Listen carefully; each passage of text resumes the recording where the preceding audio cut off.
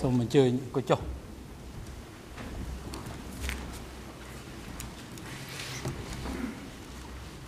អង្គជំនុំជម្រះប្រកាសបន្តកិច្ចដំណើរការនីតិវិធីអឺសូមអញ្ជើញលោកនុនជា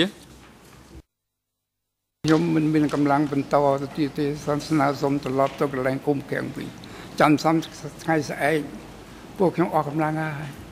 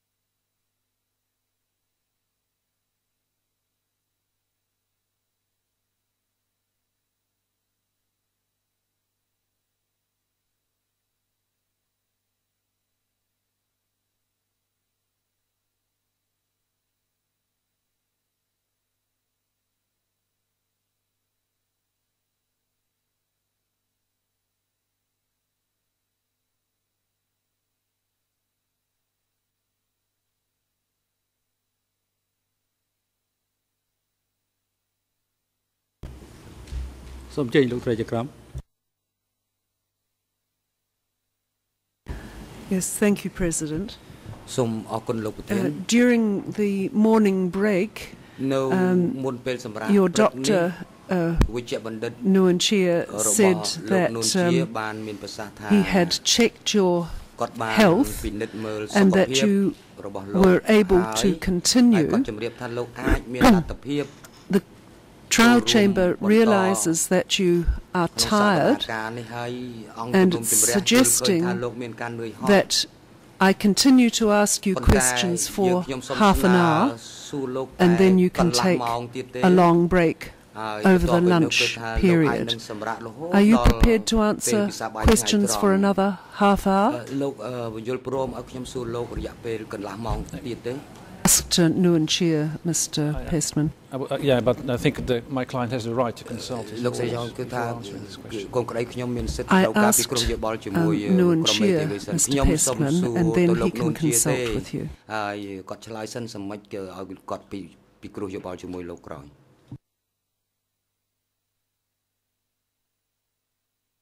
Do you feel able to continue for half an hour? លោកនុនជាលោកមានអារម្មណ៍ថាអាចនឹងបន្តឲ្យខ្ញុំសួរលោកកន្លះម៉ោងទៀតបានទេខ្ញុំមិនអាចបន្តកន្លះម៉ោងទៀតបានទេពីព្រោះភេទខ្ញុំភេទឈាមកាន់តែឡាក់ជីកវាឡើងហើយខ្ញុំពិសោធន៍មកអញ្ចឹងមកហើយខ្ញុំគ្មានកម្លាំងនឹងឆ្លើយផងហើយបើឆ្លើយក៏មិនត្រឹមត្រូវដែរដូច្នោះវាមិនត្រូវនឹងការការពិតដែលតុលាការត្រូវការដូច្នោះខ្ញុំសូមស្នើ ស្អែកបន្តទៀតសូមមេត្តាករណាអនុញ្ញាតសូមលោកប្រធានអនុញ្ញាត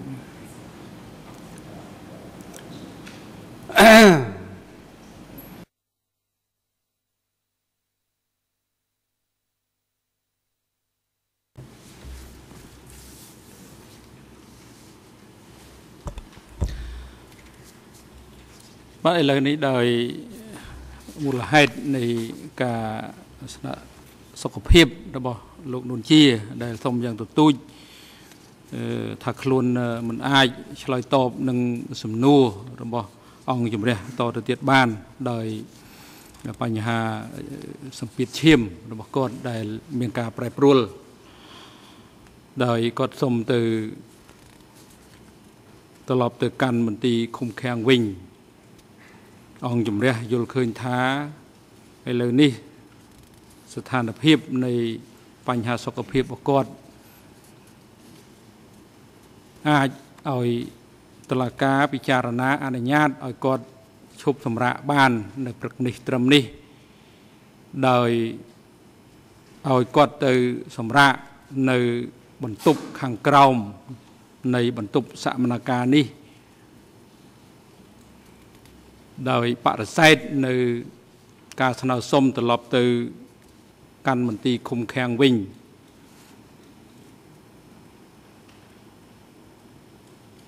អនុរិយមន្ទីរឃុំឃាំងនាំនុនជាត្រឡប់ទៅ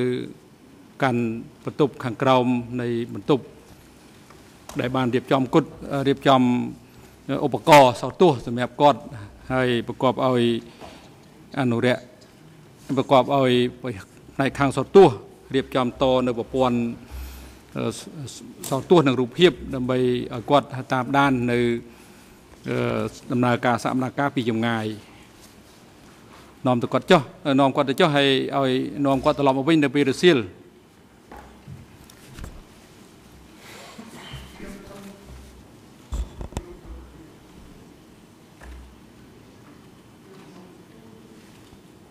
បើកបើកអូ ទៅកន្លែងគុំឃាំងវិញសម្រាប់នៅស្អែកខ្ញុំនឹងខំត្រឡប់មកវិញ ដើម្បីឲ្យសុខភាពខ្ញុំបានស្រួលបួលមែនទែនដើម្បីបំរើនៅតុលាការនេះបានផលដូច្នោះខ្ញុំសូមទទូចហើយទទូចទៀតត្រឡប់ទៅកន្លែងមន្ទីរខ្ញុំកន្លែងគុំឃាំងវិញពីព្រោះកន្លែងនោះវាស្រួលរបស់ខ្ញុំដើម្បីទៅ សម្សម្រាប់យកកម្លាំងឲ្យបាន មានកម្លាំងដើម្បីត្រៀមស្អែកទៀតព្រោះនៅកន្លែងនេះក៏អឺមិនមិនស្រួលដែរបាទបាទនេះជាកិច្ចដំណើរការនីតិវិធី ទី1អង្គជំរះបាន សម្រេចរួចហើយ ទី2កិច្ចដំណើរការនីតិវិធី ដែលជនជាប់ចោតត្រូវចូលរួម គឺមានមធ្យោបាយ2 ទី1ចូលរួមដោយផ្ទាល់ទី2ក្នុងករណីមិនអាចចូលរួមដោយផ្ទាល់បានទេក្នុងករណីលះបង់សិទ្ធិក្នុងការចូលរួមដោយផ្ទាល់ជំរើសទី2គឺតាមដានកិច្ចដំណើរការសមនាការពីចម្ងាយតាមនៅពីបន្ទប់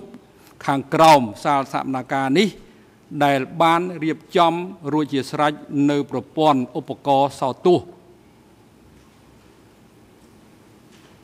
ដោយ អង្គជំរះមិនទុកឲ្យពេលវេលាកន្លងទៅឥតប្រយោជន៍នោះទេត្រូវរៀបចំ នៅកិច្ចដំណើរការដេញដោលតាមមធ្យោបាយនិងលទ្ធភាពដែលអាចធ្វើទៅបាន ពីព្រោះក្រោយពីលោកលះមិនមិនបន្តសូមមិនបន្តការឆ្លើយតបនេះ ពេលវេលានេះអង្គជំរះនឹងស្ដាប់សក្ខីកម្មដែលមិនដឹងរាប់ប្រពៃនេះឬសាក់សីឬក៏នឹងរៀបចំ នៅការសួរឆ្លាស់គ្នាចំពោះជនជាប់ចោតដទៃទៀតដើម្បីសន្សំសំចៃពេលវេលាជំរុញឲ្យកិច្ចដំណើរការសមនាការនេះប្រព្រឹត្តទៅបានដោយយុត្តិធម៌និងឆាប់រហ័សបំផុតតាមដែលអាចធ្វើទៅបានអនុរិយមន្ត្រីគុំកែងនាំគាត់ទៅទៅចុះ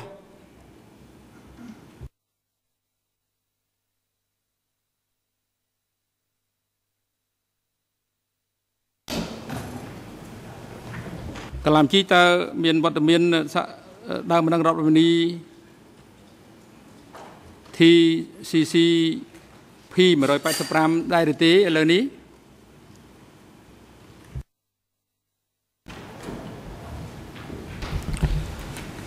សូមគោរពលោកប្រធានដើមម្ដងរដ្ឋវិនីដែលអង្គជំរះបានកោះហៅគាត់មានវត្តមានរួចហើយរងចាំការកោះហៅពីអង្គជំរះដើម្បីចូលមកកាន់បន្ទប់សកម្មភាពសូមអរគុណ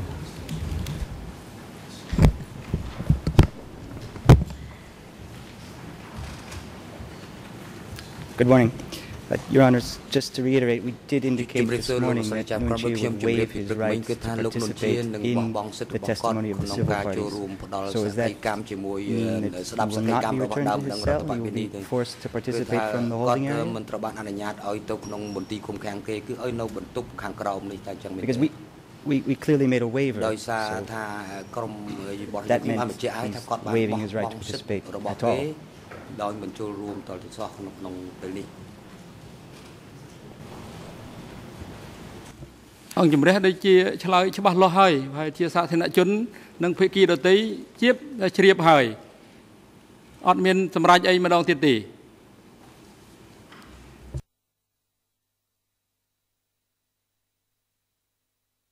មន្ត្រីតុលាការនាំ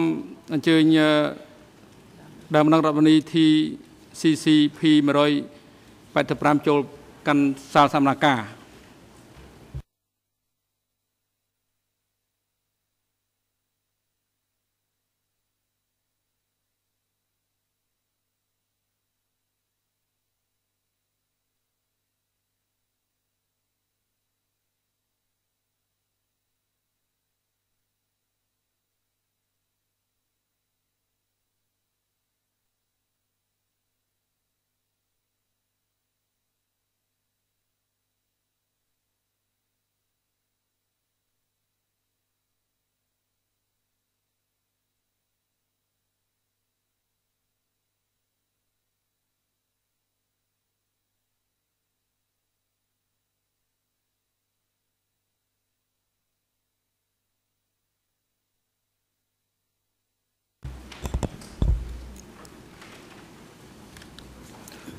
មុននឹងស្ដាប់សកម្មកម្មរបស់ដើមម្ដងរដ្ឋវិនី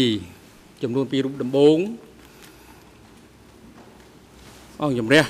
សូមរំលឹកនិងជម្រាបដល់ភិក្ខីថាកាលពីថ្ងៃច័ន្ទអង្គជំរះបានជូនដំណឹងទៅភិក្ខីរួចហើយថាអង្គជំរះមានបំណងស្ដាប់សក្ខីកម្មរបស់ដើមម្ដងរដ្ឋវិនីដែលមានរហស្សនាម T CCP 185និង T CCP 123បន្ទាប់ពីបានដោះស្រាយបញ្ហាបច្ចេកទេសពាក់ព័ន្ធមួយចំនួន អង្គភាពបកប្រែភាសាទើបបានរាយវាយតម្លៃអំពីសមត្ថភាពផ្នែកភាសារបស់ដើមម្ដងរដ្ឋប្រវេនីចំនួន2រូបខាងលើនេះដោយហេតុថាភាសាខ្មែរពុំមែនជាភាសាកំណើតរបស់ពួកគាត់ទេអ្វីបើពួកគាត់នឹងនិយាយនឹងផ្ដល់សក្ខីកម្មជាភាសាខ្មែរ នៅចំពោះមុខអង្គជំនុំជម្រះក៏ដោយក៏ភិក្ខីត្រូវសួរជាសំណួរខ្លីៗនិងងាយយល់តាមដែលអាចធ្វើទៅបាន នៅបន្ទប់សមនាការអ្នកបកប្រែផ្ទាល់មាត់នៃអង្គជំរះសាលាដំបងនៃអង្គជំរះវិសាមញ្ញក្នុងតុលាការកម្ពុជា និងអង្គុយក្បែរដើម្បីដើមម្ដងរដ្ឋវិនីទាំងពីរនេះដើម្បីជួយដល់ពួកគាត់ ទោះជាយ៉ាងណាក្តីការប្រស្រ័យតាក់ទងនៅក្នុងបន្ទប់សមនាការរវាងអ្នកបកប្រែផ្ទាល់មាត់និងដើមម្ដងរដ្ឋវិនីពីររូបខាងលើនឹងធ្វើជាភាសាខ្មែរកាលពីថ្ងៃច័ន្ទនេះដែរសហមេធាវីនាំមុខតំណាងដើមម្ដងរដ្ឋវិនីបានដាក់សំណើមួយដោយលើកឡើងថាដើមម្ដងរដ្ឋវិនីដែលមានរហស្សនាម TCCP 123 ពុំអាចបង្ហាញខ្លួនចំពោះមុខអង្គជំជំរះបាន ឡើយដោយសារសុខភាពមិនអំណោយផលហេតុដូច្នេះអង្គជំរះសូមបំភ្លឺថា នៅពេលបុគ្គលណាម្នាក់ត្រូវបានកោះហៅឲ្យចូលមកបង្ហាញខ្លួន នៅចំពោះមុខអង្គជំជំរះគឺមានតែអង្គជំរះតែប៉ុណ្ណោះដែលមានសិទ្ធិសម្រេចថាបុគ្គលនោះត្រូវបង្ហាញខ្លួន ឬមិនត្រូវបង្ហាញខ្លួន ភាគីពុំអាចសម្រេចលើបញ្ហានេះដោយខ្លួនឯងបានឡើយអង្គជំរះយល់ថាការវិតម្លៃអំពីស្ថានភាពសុខភាពរបស់សាក់សីដើមម្ដងរដ្ឋវិនីដែលមានរហស្សនាម TCCP 123គឺជាការពុំចាំបាច់ឡើយប៉ុន្តែក្រោយពីទទួល បានការកោះហៅដើមម្ដងរដ្ឋវិនីត្រូវចូលបង្ហាញខ្លួននៅតុលាការដើម្បីឆ្លើយតបទៅនឹងការកោះហៅកាលពីថ្ងៃច័ន្ទអង្គយមរះបានទទួលដំណឹងពីអង្គភាពគំពីសាក់សីនិងអ្នកជំនាញថាដើមម្ដងរដ្ឋវិនីដែលមានរហស្សនាមសម្គាល់ដូចខាងលើ មានបំណងផ្ដល់សក្ខីកម្មនិងជួយដល់អង្គជំជំរះតាមការចាំបាច់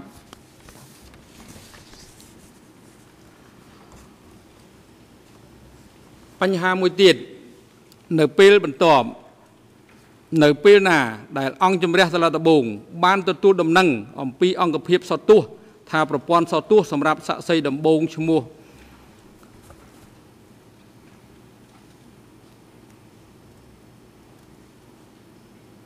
ឡុងនរិនត្រៀមខ្លួនរួចរាល់នឹងអាចដំណើរការបាន អង្គជំរះសូមជូនដំណឹងទៅភាគីនិងសាធារណជនថា ក្នុងចំណោមសាក់សីទាំងអស់មានសាក់សីមួយរូបដែលអង្គជំរះនឹងស្ដាប់ចម្លើយតាមប្រព័ន្ធសោទស្សន៍ដែលសាក់សីរូបនេះ ជាមនុស្សមានវ័យចាស់ជរាមានសុខភាពទ្រុឌទ្រោមសុខភាពរបស់គាត់មានភាពមិននឹងណពីមួយថ្ងៃទៅមួយថ្ងៃគាត់រស់នៅតំបន់ដាច់ស្រយាលហើយអង្គជំជំរះបានជួប បញ្ហាបច្ចេកទេសជាច្រើនក្នុងការដាក់ឲ្យដំណើរការប្រព័ន្ធសោទស្សន៍ដើម្បីស្ដាប់សក្ខីកម្មរបស់សាក់សីរូបនេះហេតុដូច្នេះនៅពេលដែលអង្គជំរះបានទទួលដំណឹងថាប្រព័ន្ធសោទស្សន៍អាចដំណើរការបាន ហើយសាក់សីអាចផ្ដល់សក្ខីកម្មបាននោះពេលនោះអង្គជំរះនឹងស្ដាប់សក្ខីកម្មរបស់សាក់សីរូបនោះភ្លាមភ្លាមដោយមិនបង្អង់ពេលយូរទេទោះបីត្រូវឃ្លាតចាកពីលំដាប់លំដោយស័ក្តិសិទ្ធិដែលត្រូវផ្ដល់សក្ខីកម្មដោយដែលបានជូនដំណឹងជូនភាគី នានាកន្លងមកក៏ដោយ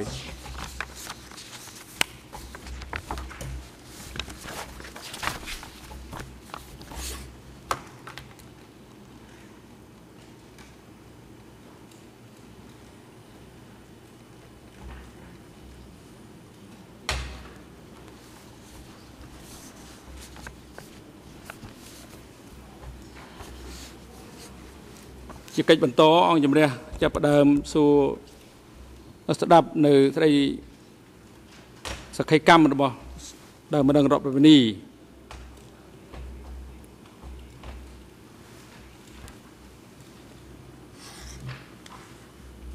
លោក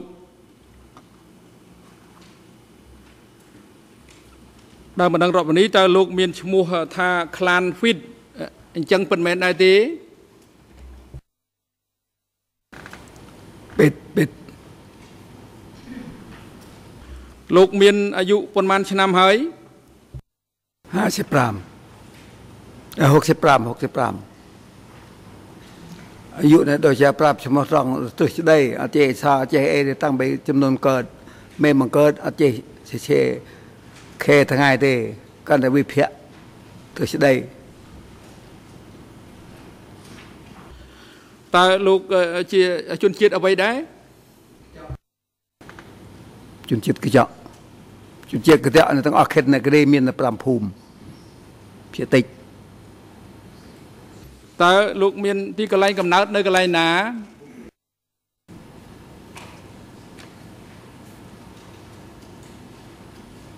ទីកន្លែងកំណើតរបស់លោកនៅកន្លែងណាឈប់ជុំអាជុំអាចឆ្លើយចាំមើលភ្លើងក្រហមនៅបាទទីកន្លែងកំណើតរបស់លោកនៅកន្លែងណា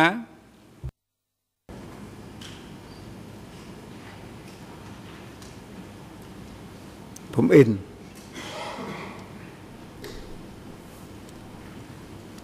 ភូមិអ៊ិននឹងនៅឯណាទៅ នៅខេត្តរតនគិរី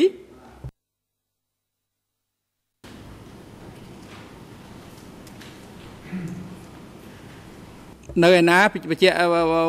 ឃុំស្រុកខេត្តភូមិអ៊ិនឃុំតាឡាវជុកដងមាសខេត្តនគរី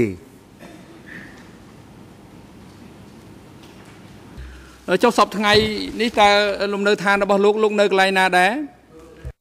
នៅភូមិកំណើតលោកប្រកបមុខរបររស់ស៊ីធ្វើអ្វីឈប់ថ្ងៃឈប់ថ្ងៃនឹងគេរំដោះថ្មីនឹងនៅប្រជជនឆ្មេញ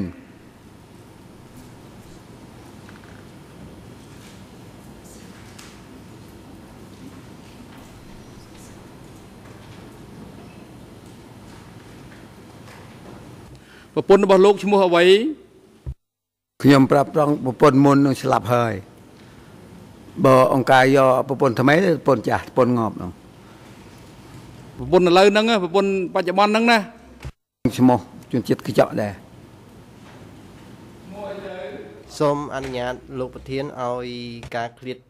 ឲ្យរងចាំឲ្យអ្នកបកប្រែអនុញ្ញាតបកប្រែចប់សិនទើបឲ្យដើមដឹងរដ្ឋវេនីឆ្លើយបាន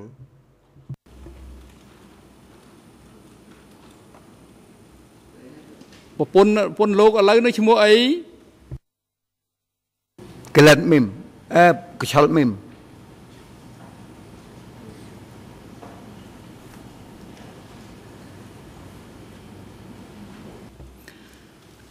លោកមានកូនប្រមាណអ្នក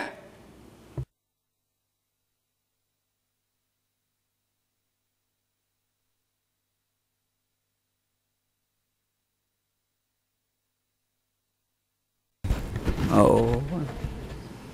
បាទ ចាស់ហើយអត់មានកូនហើយយកគ្នាបាន5ឆ្នាំនេះហើយចាស់អត់មានកូនចៅទេ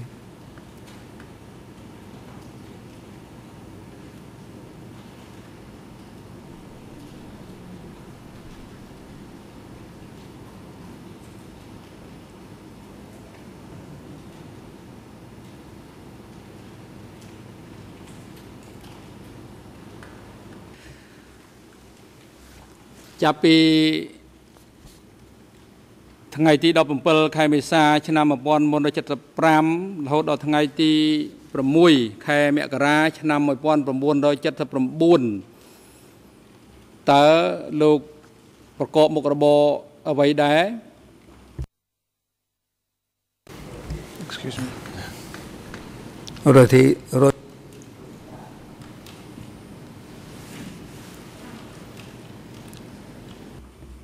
ឆ្លើយចាំមើលអ្នកជំនួយការណារៀបរយអានល្អមើលមិនក៏មាន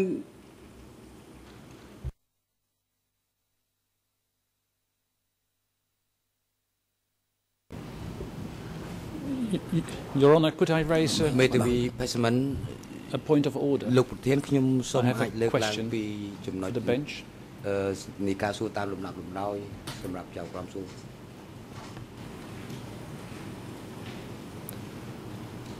អង្គជំរះមិនអនុញ្ញាតទេ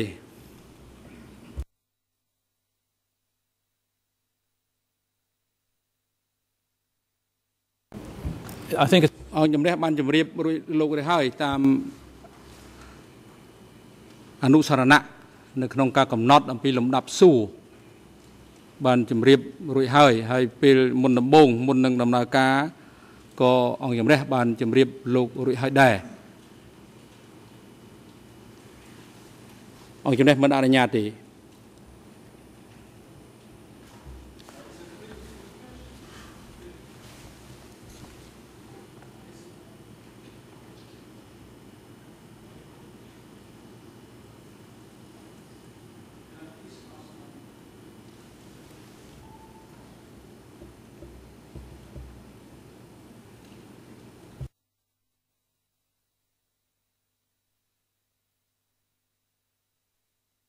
យ៉ាងម៉េចទៅ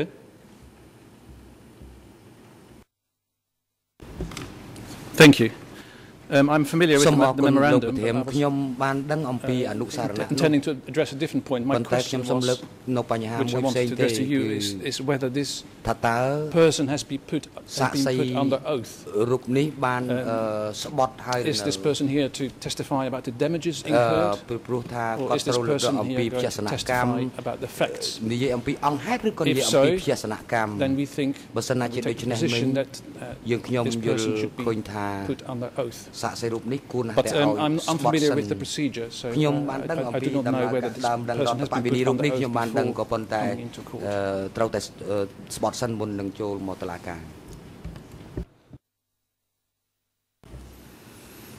នៅក្នុងច្បាប់នីតិវិធីព្រហ្មទណ្ឌខ្មែរឆ្នាំ2007ដែលកំពុងជាធរមាន ហើយមានតម្លៃអនុវត្តនៅអង្គជំរះវិសាមញ្ញក្នុងតុលាការកម្ពុជានិងវិធានផ្ទៃក្នុងនៃអង្គជំរះវិសាមញ្ញក្នុងតុលាការកម្ពុជា មិនតម្រូវឲ្យដើមមិនដឹងរដ្ឋបវិនីស្បត់ឡើយ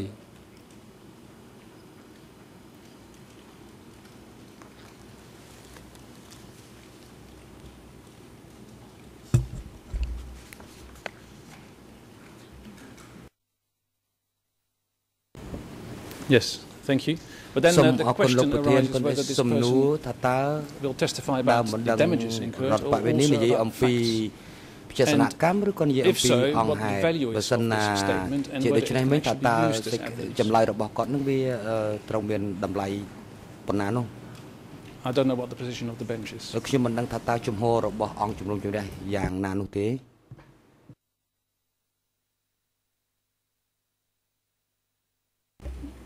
អញ្ជើញលោកសហមេធាវីនៅមុខជាតិអឺបាទសូមគោរពអឺលោកចៅក្រមប្រធានលោកលោកស្រីចៅក្រមអឺតាមការពិតសំណួររបស់អឺលោកមេធាវីខាងការពីក្តីមិនសមស្របទេអឺអឺមេម៉ូរបស់អនុសារណៈរបស់លោកប្រធានក៏បាន លើកច្បាស់លាស់មេម៉ូលេខ141បានលើកច្បាស់លាស់ថា ដើមបណ្ដឹងរដ្ឋវិន័យអាចនិយាយទាំងអង្គហេតុផង ទាំងអង្គច្បាប់ផងដូច្នេះនៅពេលដែលដើមបណ្ដឹងរដ្ឋវិន័យនិយាយអំពីអង្គហេតុអឺមិនមិនមានអឺវិធានណាដែលតម្រូវឲ្យគាត់ត្រូវបានប្រែក្លាយលក្ខណៈទៅជាសាក្សីនោះទេសូមអរគុណលោកប្រធាន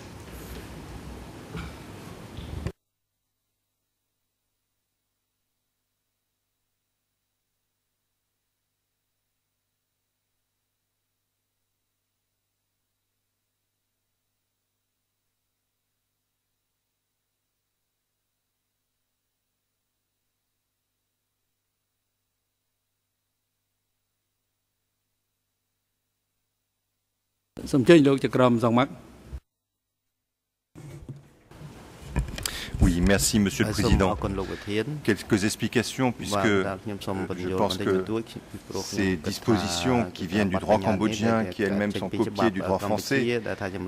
sont parfaitement claires. Les parties civiles sont considérées comme étant parties au procès. En cette qualité, elles interviennent sans avoir à serment. Elles peuvent effectuer des dépositions qui concernent aussi bien le préjudice préjudice qu'elles prétendent avoir subi que les faits pour lesquels euh, euh, elles ont des, des, positions à faire, des faits qui sont euh, des dépositions qui sont en lien avec les faits qui sont reprochés aux accusés. C'est le principe. Ensuite viendra le temps d'apprécier la valeur des dépositions et ça, ça fera partie du débat. Et euh, je crois qu'il n'y a aucune difficulté.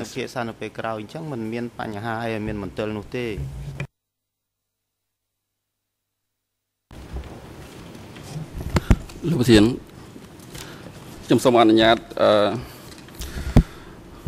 កត់សម្គាល់ទៅលើអឺអ្នកបកប្រែអំបញ្ញមិញលោកប្រធានមានប្រសាសន៍ថាអឺលោកម្នាក់ដែលអញ្ជើញមកអមជាមួយនេះអាចថាជាអ្នកបកប្រែដោយសារតែស័ក្តិអឺដើមម្ដងរដ្ឋវេនីមិនបានប្រើភាសាខ្មែរជាភាសាកំណើតទេបាទដូច្នេះយោងតាមនីតិវិធីព្រំទាន់កម្ពុជា ឆ្នាំ2007នេះ មាត្រា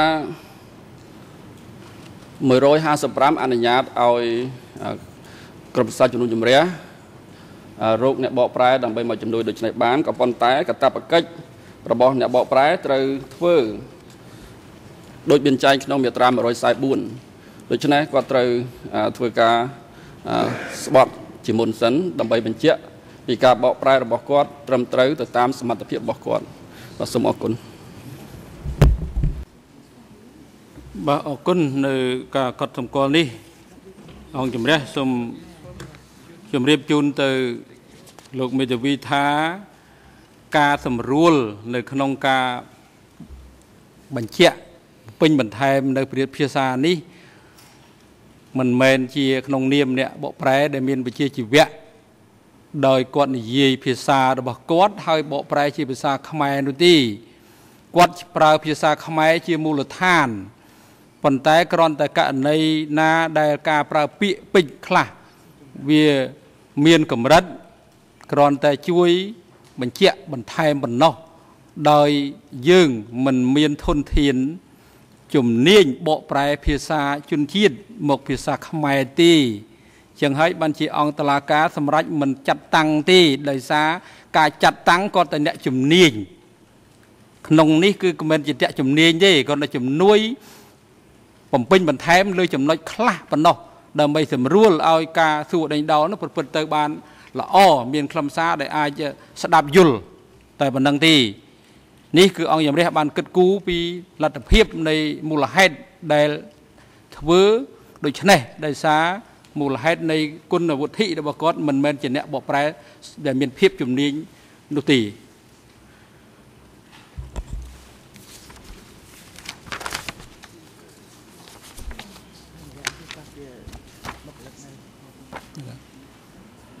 បើជាកិច្ចបន្តដើម្បីជាការអនុវត្តនៅបទបញ្ញត្តិនៃវិធាន91ស្ទួននៃវិធានផ្ទៃក្នុងនិងតាមដីកាចាត់តាំងភារកិច្ចឲ្យសួរដេញដោលដើមរងរដ្ឋវិនីចុះថ្ងៃទី23ខែវិច្ឆិកាឆ្នាំ2011របស់អង្គជំរះអង្គជំរះផ្ដល់វិធីការទៅសហមេធាវីនៅមុខតំណាងដើមរងរដ្ឋវិនីដើម្បីសួរដេញដោលដើមរងរដ្ឋវិនីឈ្មោះ Clan Fit នេះសូមអញ្ជើញ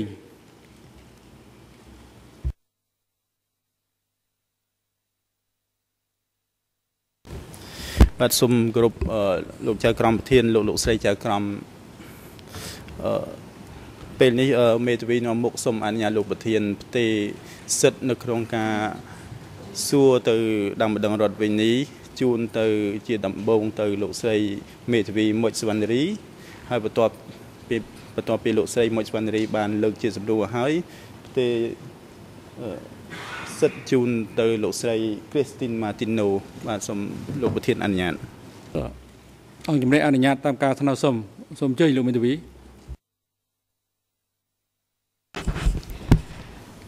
អរគុណលោកប្រធាន ជាដំបូងនាងខ្ញុំសូមអឺគោរពអង្គជំនុំជម្រះទាំងមូលហើយសូមជម្រាបសួរដល់លោកអ៊ំក្លានហ្វីត អញ្ចឹងខ្ញុំនឹងចាប់ផ្ដើមសួរសំណួរមួយចំនួនដល់លោកអ៊ំហើយបើសិនជាសំណួរដែលខ្ញុំសួរខ្ញុំនិយាយញាប់ពេកឬក៏មិនច្បាស់សូមអ៊ំប្រាប់ខ្ញុំខ្ញុំនឹងសម្រួលសំណួរនោះឡើងវិញជាដំបូងខ្ញុំនឹងសួរអ៊ំតាក់ទងជាមួយនឹងប្រវត្តិដែលអ៊ំចូលរួមជាមួយនឹងចលនាបដិវត្តខ្មែរនៅពេលនោះ គឺចាប់តាំងពីពេលដែលអ៊ំចូលរួមបដិវត្តរហូតដល់មុនថ្ងៃទី17ខែមេសាឆ្នាំ1975គឺជាថ្ងៃដែលចលនាបដិវត្តខ្មែរក្រហម បានរំដោះទីក្រុងភ្នំពេញលោកអ៊ំយល់ទេចាអញ្ចឹងខ្ញុំសូមអនុញ្ញាតសួរនៅសំណួរទី1ខ្ញុំចង់សួរជម្រាបសួរលោកអ៊ំថាមុនពេលដែលលោកអ៊ំធ្វើបដិវត្ត តើលោកអ៊ំរស់នៅទីកន្លែងណាដែរឬហើយជីវភាពនៃការរស់នៅរបស់លោកអ៊ំនៅពេលនោះមានស្ថានភាពយ៉ាងម៉េចខ្លះស្រួលយ៉ាងម៉េចខ្លះស្មុគស្មាញយ៉ាងម៉េចខ្លះសូមលោកអ៊ំបានជម្រាបជូនអង្គសាវនាការនៅពេលនេះ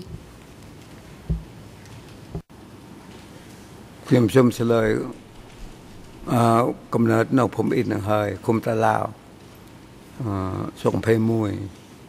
អឺពីដើមមិនមានជុកនៅមាសនេះជុកបកែវ បាទ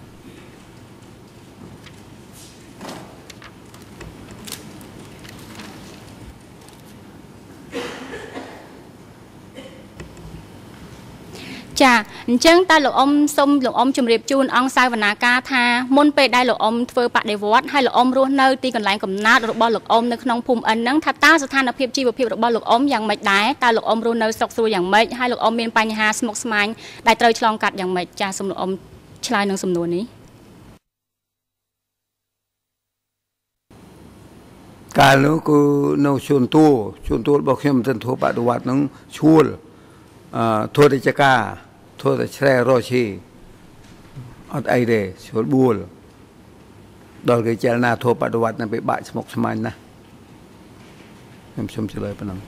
ចាសូមអរគុណលោកអ៊ំអញ្ចឹងនាងខ្ញុំសូមចូលទៅក្នុងសំណួរទី2សូមសួរលោកអ៊ំថាតើលោកអ៊ំបានចាប់ផ្ដើមចូលរួមបដិវត្តដំបូងនៅពេលណាដែរលោកអ៊ំអត់ឆ្នាំទេប៉ុន្តែការងារធ្វើនឹងអំដឹងឆ្នាំឆ្នាំអត់ចេះជិះសោះហ្នឹងអត់ចេះឆ្នាំខែឆ្នាំហ្នឹងធัวនឹងមុនដំបូងធัวបដិវត្តនឹងចូលជាមួយខ្មែរក្រហមអឺ គេចលនាធัวបំគេបំរើ គេបំរើទៅតាក់តងឯកសារតាក់តងមកពិបាល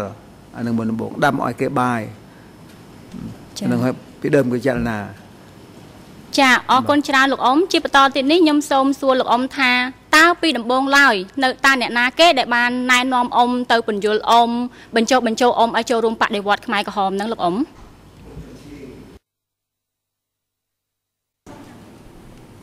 អ៊ំទាំងឈីអ៊ំអ៊ំវងតាវីណាអឺទៅទាំងឈីនេះជនជាតិលាវនៅវនឆៃអឺអ៊ំវីហ្នឹងគាត់ជាជាតិខ្មែរខេត្តកំពតពួកគាត់នៅដឹកនាំភ្ញៀវធម៌បដិវត្តចាអញ្ចឹងខ្ញុំសូមអនុញ្ញាតសួរសំណួរបន្តទៀតខ្ញុំចង់ជម្រាបសួរលោកអ៊ំថានៅពេលដែលគេបានពន្យល់អ៊ំឲ្យចូលបដិវត្តដំបូងតើនៅពេលហ្នឹងគេពន្យល់ ប្រាប់អ៊ំថាម៉េចដើម្បីឲ្យអ៊ំចូលរួមក្នុងចលនាបដិវត្តជាមួយគេនឹងអ៊ំចាំពាក្យសម្ដីគេដែលគេពន្យល់នៅពេលហ្នឹងដំបូងបានទេលោកអ៊ំ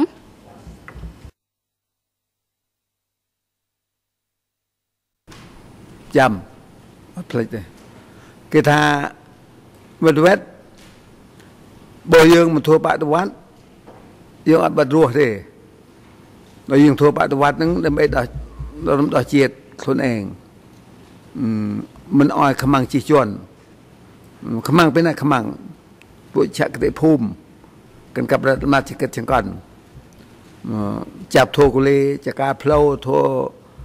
ព្រៀនធូកាប់ផ្លូវធូស្ពានធូប្រទេសឲ្យគេធូបន្ទាយធូអីគេណាគេចាប់យកចាប់យកអត់ជាប់អត់អីទេអានឹងនឹងគេថាខ្មាំងជិះជាន់ហ្នឹងបើយើងមិនចេះណាធ្វើបដិវត្តអត់មានផ្លូវដើរទេគេជំរាបអោយ ចាអរគុណលោកអ៊ំអញ្ចឹងនៅពេលដែលគេបញ្ចុះបញ្ចោអ៊ំឲ្យចូលបដិវត្តដំបូងហ្នឹងតើអ៊ំយល់ទេពាក្យថាធ្វើបដិវត្តហ្នឹងថាតើវាមានន័យយ៉ាងម៉េចពាក្យបដិវត្តហ្នឹងលោកអ៊ំយល់ទេនៅពេលហ្នឹងយល់ខ្ញុំឈួរខ្ញុំឈួរតែយើងមិនធ្វើបដិវត្តធ្វើបដិវត្តដើម្បីធ្វើស្អីទី1ក្តាប់ប្រជនធ្វើជាគេធ្វើធ្វើឆ្លៃធំចកាដើម្បីមានសេដ្ឋកិច្ចហ្នឹងយើងធ្វើបដិវត្តឈ្នះបើអត់មានសេដ្ឋកិច្ចអត់ឈ្នះទេធ្វើបដិវត្ត ចាអរគុណច្រើនលោកអ៊ំបន្តទៅទៀតនេះខ្ញុំចង់ជម្រាបសួរលោកអ៊ំទៀតថាពេលហ្នឹងហេតុអ្វីបានជាក្រោយពេលដែលគេបញ្យល់ហើយហេតុអ្វីបានជាលោកអ៊ំសម្រាប់ចិត្តចូលរួមធ្វើបដិវត្តហើយពេលដែលអ៊ំសម្រាប់ចិត្តចូលរួមហ្នឹងតើអ៊ំបង្ខំចិត្តត្រូវតែចូលរួមឬក៏អ៊ំស្ម័គ្រចិត្តចូលរួមនៅក្នុងបដិវត្តហ្នឹងខ្លាចគេខ្លាចអំណាចចិត្តគេអត់មានផ្លូវដើរអានឹងហើយធัวខំធัว ក្នុងចិត្តអត់ចង់ទៅធัวដោយតែគេបង្ខំចាអរគុណច្រើនលោកអ៊ំអញ្ចឹងខ្ញុំមានសំណួរជាបន្តទៀតខ្ញុំចង់ជម្រាបសួរលោកអ៊ំថានៅពេលដែលលោកអ៊ំចូលធ្វើបដិវត្តជាលើកដំបូងតើអ្នកដែលនាំអ៊ំចូលឲ្យធ្វើបដិវត្តហ្នឹងគេបានតម្រូវឲ្យអ៊ំធ្វើការងារអ្វីខ្លះដែរលោកអ៊ំស្ដែងអឺទី1ដើម្បីតាកតងសេដ្ឋកិច្ចគេតាកតងផ្លូវការជូនឈុតឆ្នាំជូនមកបាលទី2ទៀត គិតគូអាច្បៀងអាហារគេពេលគេប្រជុំនឹងផ្អែកទៅលើខ្ញុំតាក់ទងសេដ្ឋកិច្ចបំរើការងារគេប្រជុំអង្គប្រជុំក្នុងទី3គេពឹងផ្អែកលើខ្ញុំគេចិត្តជាងខ្ញុំធួផ្ទះធួកលែងគេនៅពួតនៅព្រៃកាលនោះវាឆ្ងាក់ខ្លាចខ្លាចខ្មាំងពីណាខ្មាំងអាអាខ្លាចអាទៅហ៊ានលងនល់ដល់យើងដល់ដឹងអ្នកធ្វើមកបានកាប់កាត់កចូលអានឹង គេឲ្យខ្ញុំធួកលែងរស់នៅអ៊ំអ៊ំតពកឈ្មោះអ៊ំយ៉ាងជ្រីនេះអាហ្នឹងអស់ធួចាមានមេធាវីជប់ណែណែបងអង្គតិចឃ្លាតនេះបន្តិចដើម្បីឲ្យការបកប្រែហ្នឹងវាតន់ណាមិនមិញវាបកប្រែអត់តន់ណាជើញ ចាអញ្ចឹងខ្ញុំចង់ជម្រាបសួរលោកអ៊ំទៀតថាមិញហ្នឹងលោកអ៊ំបានប្រាប់ថាអ្នកដែលដឹកនាំបដិវត្តហ្នឹងគេឲ្យអ៊ំរត់សបុតរត់អីហ្នឹងអញ្ចឹងតើនៅពេលហ្នឹងអ៊ំធ្វើជានិរសាឲ្យពួកគាត់ឬក៏យ៉ាងម៉េចដែរលោកអ៊ំធ្វើនិរសាធ្វើនិរសាគេទាទងស្បុតទាទងមកបបាល អញ្ចឹងខ្ញុំចង់ជម្រាបសួរលោកអ៊ំបន្តទៀតថាធ្វើនិរសារត់សម្បត្តិឲ្យគេហ្នឹងអ៊ំរត់សម្បត្តិពីអ្នកណាឲ្យទៅអ្នកណា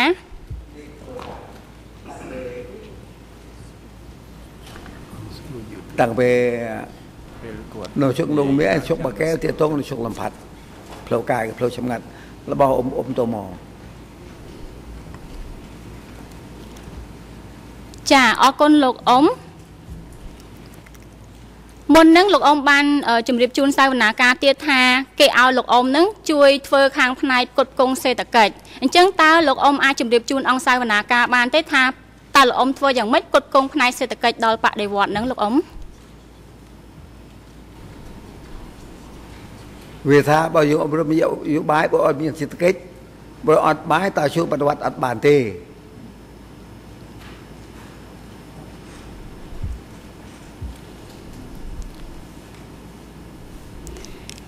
ចាអញ្ចឹងតើគេតម្រូវឲ្យលោកអ៊ំធ្វើអីទៀតជាមួយនឹង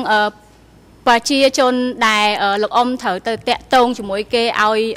ក្រុមធ្វើចលនាបដិវត្តនឹង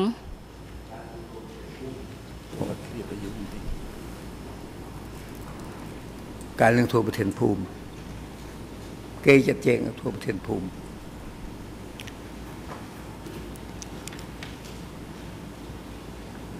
សូមលោកអ៊ំបញ្ជាក់ម្ដងទៀតបានទេពីណាឲ្យលោកអ៊ំធ្វើប្រធានភូមិលោកអ៊ំពួកអឺពួកអ៊ំយ៉ាងអឺស្អីថងឈីអឺជាមួយលោកអ៊ំវង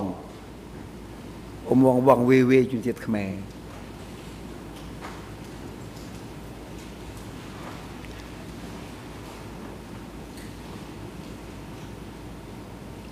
ចាអរគុណច្រើនលោកអ៊ំខ្ញុំចង់សួរសំណួរអ៊ំបន្តមកទៀតថានៅក្នុងទូនេតិជាមេភូមិហ្នឹងតើខាងបដិវត្តហ្នឹងគេតម្រូវឲ្យអ៊ំធ្វើការងារអីគេខ្លះសម្រាប់គេដែលដើរទូនេតិជាមេភូមិហ្នឹងត្រូវធ្វើអីគេខ្លះទូមេភូមិហ្នឹងបែជាតាំងក្រុមមួយភូមិមាន5ក្រុម4ក្រុមដើម្បីបង្កប់កត់ផល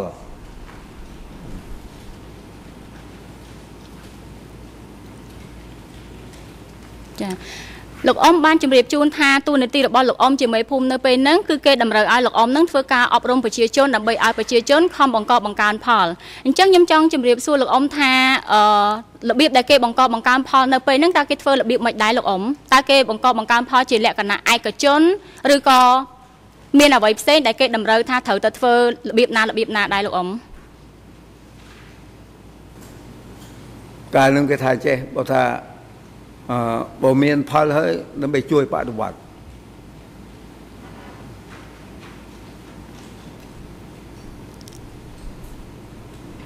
ចាអរគុណលោកអ៊ំអញ្ចឹងតើខាងបដិវត្តហ្នឹងគេមានតម្រូវឲ្យលោកអ៊ំថាបានផល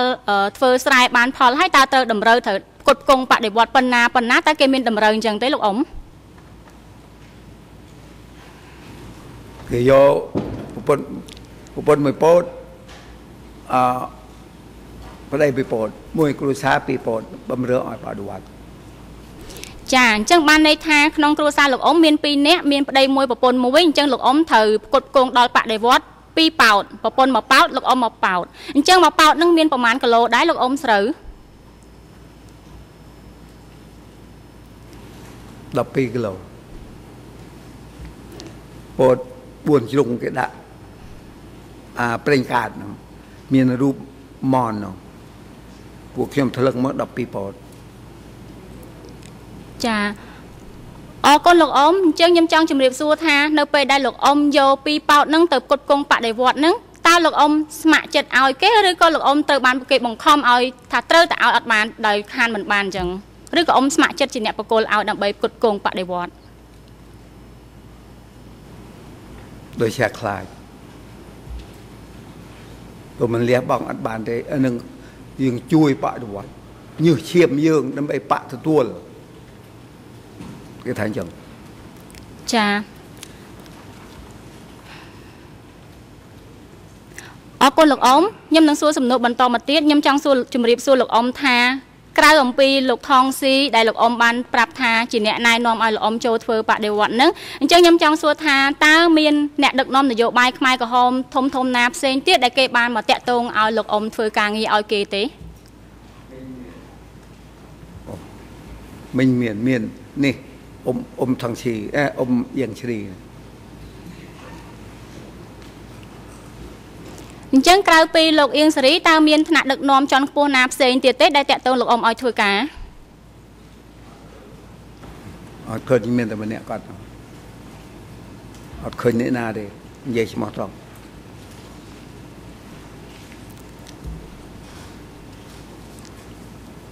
អរគុណលោកអ៊ំចឹងខ្ញុំសូមជម្រាបសួរលោកអ៊ំបន្តទៀតថាលោកអ៊ំបានជួបជាមួយនឹងលោកអៀងសេរីបានស្គាល់គាត់ប្រហែលជានៅក្នុងពេលណាដែរលោកអ៊ំ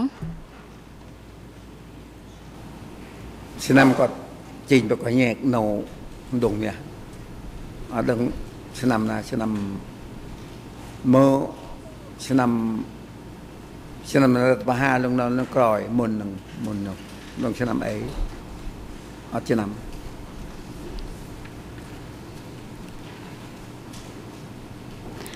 អរគុណលោកអ៊ំអញ្ចឹងតើលោកអ៊ំអាសាឃើញគាត់ញឹកញាប់ទេធ្លាប់ជួបជាមួយនឹងគាត់ញឹកញាប់ទេ គាត់ហៅខ្ញុំប្រជុំមាន2លើកប៉ុណ្្នឹងទេចាមិញលោកអ៊ំថាគាត់ហៅលោកអ៊ំទៅប្រជុំអញ្ចឹងខ្ញុំចង់សួរលោកអ៊ំបន្តទៀតថានៅពេលដែលប្រជុំហ្នឹងថាតើគាត់បាននិយាយអ្វីខ្លះនៅក្នុងពេលប្រជុំហ្នឹងឬក៏បានបង្រៀនអីខ្លះដល់លោកអ៊ំនៅពេលហ្នឹងដែរទេគេថាបង្រៀនលក្ខន្តិកៈរបស់បក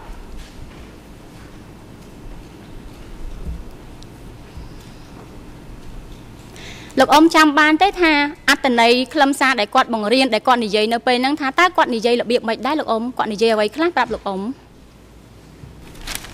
គាត់រៀនអោយថាឥឡូវហៅបងប្អូន គេហៅនឹងឋានៈឃុំឋានៈស្រុកប្រធានភូមិគេហៅដើម្បីគេពង្រឹងគោលជំហរឲ្យនឹងនោធុបដិវត្តតឈូការលំបាកវេទនាបដិវត្តនេះយូរអង្វែងបានហើយបានចប់អត់ចេះចប់ទេ ពីណាយើងអត់មានគោលជំហរតឈូនឹងអត់កើតទេធុបដិវត្តបើមិនកើតបដិវត្តយើងស្លាប់អស់ចាដោយសារនៅភូមិភាគឦសានហ្នឹងវានៅជិតខាងបងប្អូនវៀតណាមដែរអញ្ចឹងតើគាត់មានប្រាប់អ៊ំពីអ្វីពីគោលនយោបាយពីខាងថ្នាក់អង្គការលើមកថាតាក់ទងជាមួយនឹងវៀតណាមហ្នឹងតើយ៉ាងម៉េចដែរទេលោកអ៊ំគាត់មានប្រាប់ពីគោលនយោបាយជាមួយនឹងវៀតណាមហ្នឹងដែរទេលោកអ៊ំមុនដំបូងហ្នឹងការ គាត់ឧបជុំអប់រំពួកខ្ញុំថាប្រកាសអប់រំពុកមេអប់រំឋានៈភូមិប្រធានភូមិប្រធានឃុំប្រធានជោគយើងកំហៅយួនយួននេះហ่าបងប្អូនវៀតណាមអានឹងបានវាឆាំខេយើងនិយាយវាវាទាន់បើថាហៅយួនយួនអីយើងប្រឆាំងគេគាត់បងប្អូនយើងជាមួយវៀតណាមកម្ពុជាលៀមបងប្អូនជាដូនមួយគាត់ថាអញ្ចឹងដល់ចុងក្រោយទៀតចូលថាខ្ញុំចូលបច្ចុប្បន្នវៀតណាមបាននោះហើយគាត់ ចាប់ខ្ញុំគុំខៀងនៅភ្នំពេញថ្ងៃខែថ្ងៃ9ខែ9ឆ្នាំ78ចាអរគុណលោកអ៊ំខ្ញុំនឹងទៅដល់សំណួរហ្នឹងតែខ្ញុំនឹងសួរសំណួរបន្តទៅទៀតនៅក្នុងរយៈពេលមុនពេលដែលខ្មែរក្រហមរំដោះបានទីក្រុងភ្នំពេញណាលោកអ៊ំអញ្ចឹងខ្ញុំចង់សួរជម្រាបសួរលោកអ៊ំទៀតថានៅពេលហ្នឹងលោកអ៊ំដឹងទេថាលោកអៀងសេរីហ្នឹងគាត់មានតួនាទីជាអ្វីដែរ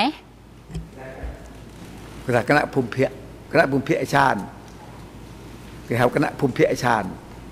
ពួកខ្ញុំអត់ដឹងភូមិភាគអឆានដឹងយ៉ាងម៉េចគេថាភូមិភាគអឆាន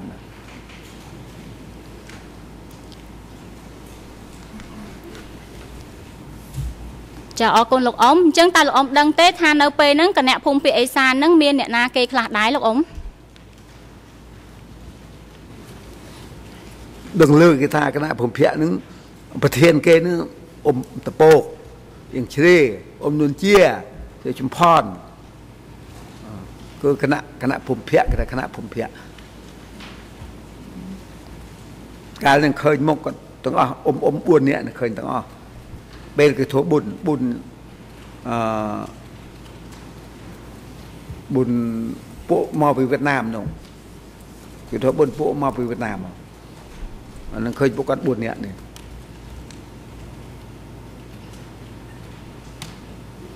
អរគុណលោកអ៊ំអំបីមិញលោកអ៊ំនិយាយតាក់ទងជាមួយនឹងឈ្មោះអ៊ំពកអញ្ចឹងខ្ញុំចង់ឲ្យអ៊ំបញ្ជាក់បន្តិចថាអ៊ំពកនឹងជាអ្នកណាគេដែរឈ្មោះពេញគាត់ជាអ្នកណាដែរលោកអ៊ំ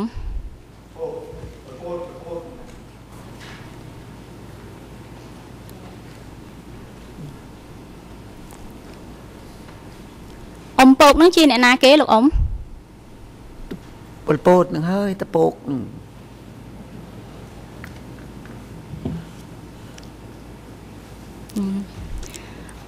អរគុណលោកអ៊ំខ្ញុំសូមអនុញ្ញាតបន្តសំណួរតទៀត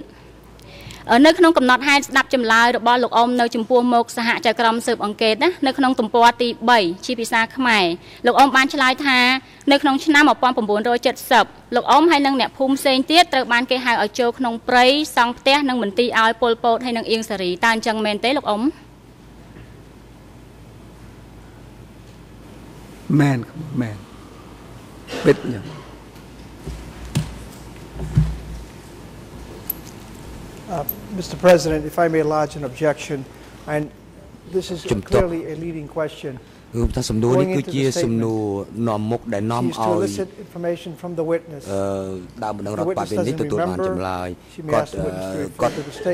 ដើមបណ្ដឹងរដ្ឋបាលនេះមិនចាំប៉ុន្តែគាត់សួរទៅដោយសំអាងទៅលើ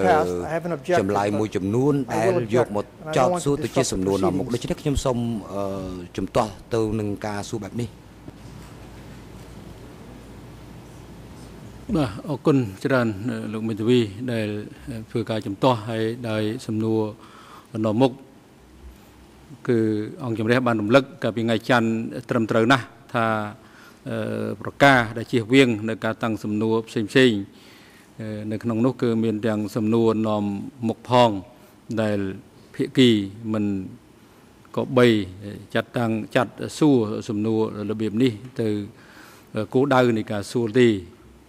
ដូច្នេះមេធាវី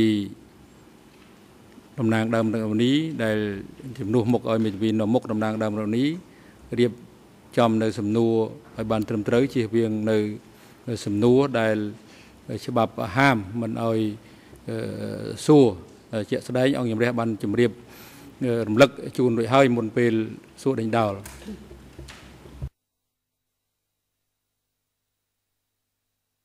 គុណឥឡូវនេះដល់ម៉ោងសំលមមនឹងឈប់សម្រាប់អាហារពីថ្ងៃត្រង់ហើយអង្គជំរះប្រកាសសម្រាប់ដើម្បីពិសាថ្ងៃត្រង់ចាប់ពីពេលនេះទៅទៅរហូតដល់ម៉ោង1:30នាទីរសៀលនេះ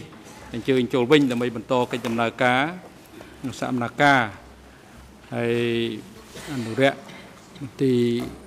ឃុំឃាំងនាំ ជនជាប់ចោតពីរូបត្រឡប់ទៅកាន់បន្ទប់ខាងរងចាំខាងក្រោមហើយនឹងឲ្យនាំគាត់ត្រឡប់មកវិញនៅរសៀលនេះវេលាម៉ោងឲ្យបានមុនម៉ោង1:30នាទីជាកំណត់សម្រាប់ចុះ